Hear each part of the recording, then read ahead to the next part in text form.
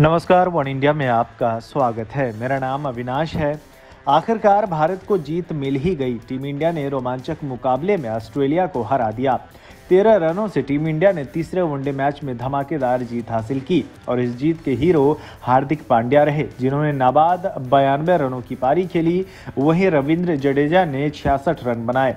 भारत ने पहले बल्लेबाजी करते हुए ऑस्ट्रेलिया को जीत के लिए 303 रनों का टारगेट दिया था, पर मेजबान टीम सभी विकेट खोकर दो सौ नवासी रन ही बना सकी और भारत ने 13 रनों से मुकाबला जीत लिया।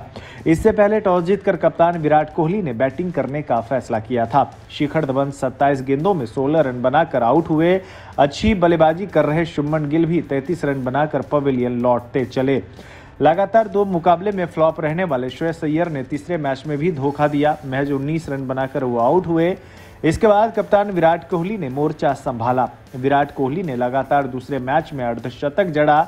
उन्होंने चौसठ गेंदों पर अपना पचासा पूरा किया। हालाँकि अठहत्तर गेंदों में विराट कोहली तिरसठ रन बनाकर आउट हो गए।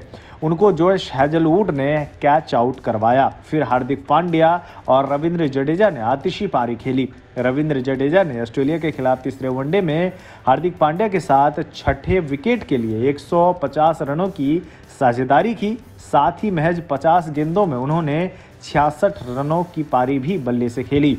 इस दौरान जडेजा के बल्ले से पाँच चौके और तीन छक्के भी निकले। पांड्या ने छिहत्तर गेंदों का सामना करते हुए बयानवे रनों की पारी खेली, जिसमें सात चौके और एक छक्के शामिल थे।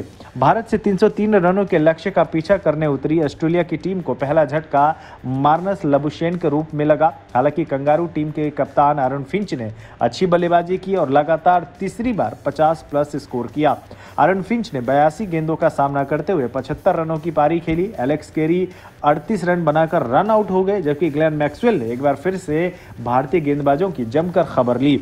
उनसठ रन बनाकर मैक्सवेल बुमराह के शिकार बने। भारत की तरफ़ से नटराजन बुमराह ने दो दो विकेट हासिल किए, जबकि शार्दुल ठाकुर ने तीन विकेट इस मुकाबले में लिए। चूँकि सीरीज़ पहले ही टीम इंडिया हार चुकी थी तो हाथ कुछ नहीं लगा। प्लेयर ऑफ़ द मैच का अवार्ड मिला पांड्या को, जबकि प्लेयर ऑफ़ द सीरीज़ का अवार्ड स्टीवन स्मिथ लेकर गए। इस खबर में बस इतना ही। तमाम अपडेट्स के लिए बने रहिए वन इंडिया के साथ।